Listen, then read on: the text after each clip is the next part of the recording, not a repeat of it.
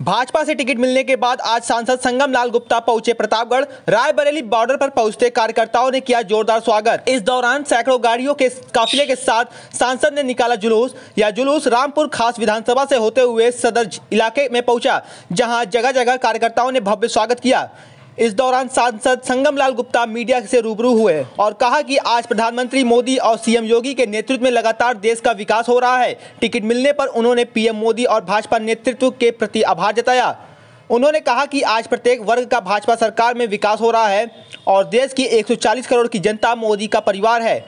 उन्होंने कहा कि इस बार भाजपा 400 के पार का लक्ष्य लेकर चल रही है और पूर्ण बहुमत से केंद्र में सरकार बनने जा रही है। बहुजन समाज पार्टी के अखिलेश चुनाव लड़ने पर सांसद ने कहा कि सभी पार्टी की अपनी एक नीति होती है और उसके तहत जो भी चुनाव मैदान में आ रहा है, उन सभी का स्वागत है। वहीं उन्होंने उत्तर प्रदेश में 80 में से 80 सीट जीतने का दावा भी किया है। आप भी देखिए हमारी इस खास रिपोर्ट को नारद रिटर्न न्यूज़ पर।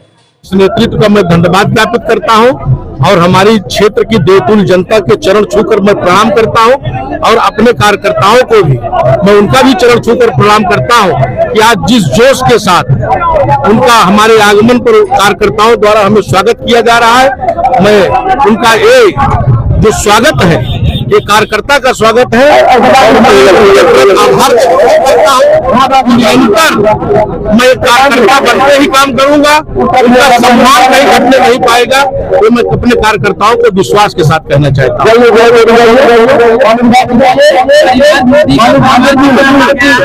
देखिए ये मोदी का ही परिवार है।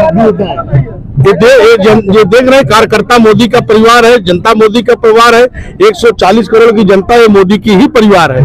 और उन्हीं की परिवार का ही नतीजा है कि आज जिस तरीके से उनका परिवार हमारा स्वागत कर रहा है मैं उस स्वागत से धन्य हो गया हूँ। सांसद संगमलाल गुप्ता का भी परिवार है।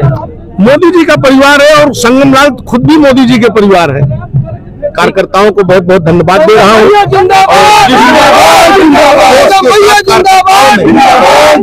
स्वागत किया है। मैं उनको बारम्बार धन्यवाद देता हूँ क्योंकि कार्यकर्ताओं की बदौलत कार्यकर्ताओं की बदौलत ही मैं विधायक बना सांसद बना शीर्ष नेतृत्व ने हमारे ऊपर भरोसा जताया।